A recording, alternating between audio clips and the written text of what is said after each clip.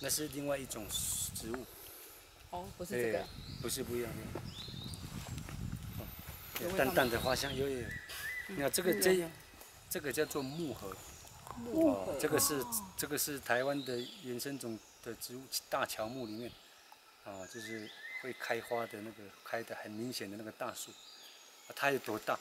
它就是那一棵，都够大了。哦，啊这哦那么大还还可以那么大。哦啊，所以上面这边就是在中海拔的环境哦，可以长蛮大的，但是还会一直在长哦，这个都是还算年轻的，就这个就是木荷，木头的木荷花的。哦。荷。啊，台湾的木荷只有两种，木荷跟港口木荷。哦，那么，那么，就是我们在看到台湾那么十几族里面呢，其实跟就是在民族民族植物的利用，啊，它常常被提到，那就是大家很熟悉的少主日月潭嘛，嗯。没有划过几次船，没有划船了，坐那个游艇，那还没游艇之前，那边的少主要去潭那边打鱼的时候，就用什么？是是真哦，正的独木舟了，嗯。哦，蓝屿是拼板舟，对，独木舟用什么木材？就是这个，就是木荷树。哦，对，因为它可以那么大，你看，就到砍砍伐下来，就直接嗯凿，哦，凿出一个那个就可以在里面去打。那有那么大颗，对，那我们泰雅族语更好听。哦，它有一个名字叫石露露，你看，史哦史露露女孩子女性的名字很好听哦，史鲁鲁，对，史露露，就是木盒，对，S L U L U，哦，史露露。对，它常常也会成为什么飞鼠飞鼠的飞鼠的那个栖地。哦，这种大树的话，它会有一些上面会有一些那个断掉的那个树干，那它的果实一定很特别哈，呃，它说，呃，很平凡的，果实很飞鼠平 喜欢吃。哦，那它连在地上都一定都有。对啊，昨天走的话路上都有那那个啊。它这些残残干哈断掉，慢慢的那个它就会里面会形成一个小中空，嗯哦，就是它的对，这比如说这个断掉以后，嗯对，那个常常就会成为飞鼠的窝。哦，对，飞鼠的窝，像这边它就有两个窝，靠那个方向。哦，哦，所以晚上来看有机会就可以看到嘛嗯，，带带个这就被我们干扰到，它不住了，因为你们之前我们带那个在游学台湾、壮游台湾，以前带带那个这种套装行程的，嗯很频繁了。哦，这太频繁打扰到他们了然后来哦，生气了。看不住了，你们好烦对，这个就是这个木纹，你看这大的树哦，因为这个腐叶堆积在它的分叉上面，时间久了，我们看，你看有多多少个那个那个山苏花，嗯哦，挂在它的树树上嗯三四五六七八完都到上面，三四吗？对，嗯，这个是大树，它才有办法提供这样的一个那种环境。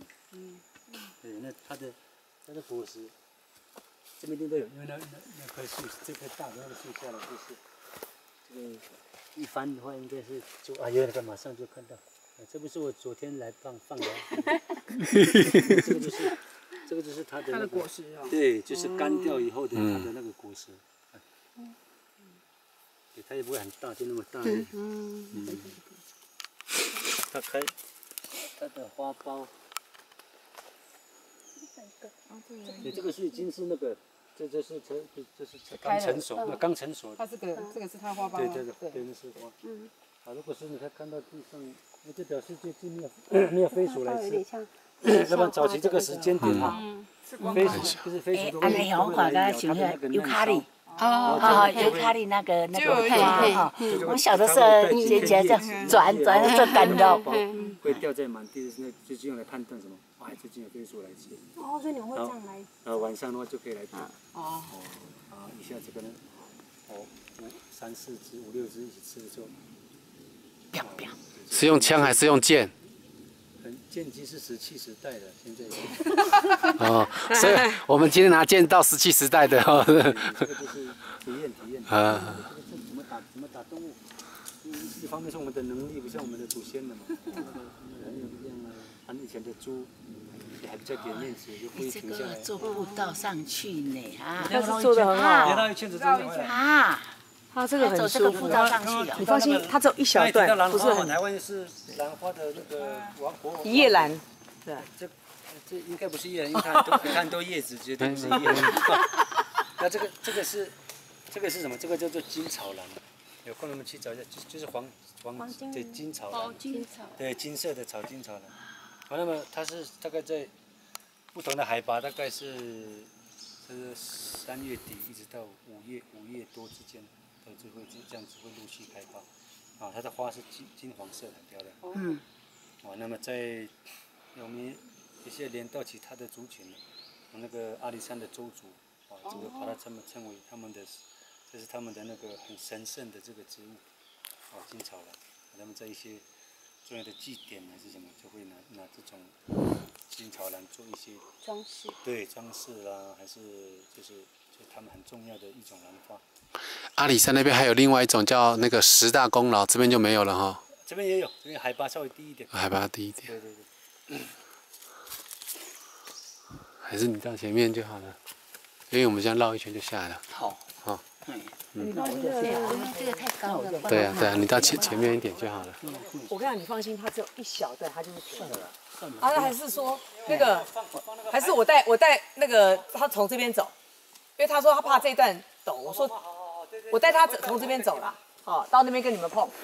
对我带陈妈妈走，你们你们走这，来我来拿，好。我我跟你讲，这段我陪你走，这个很明，你放心。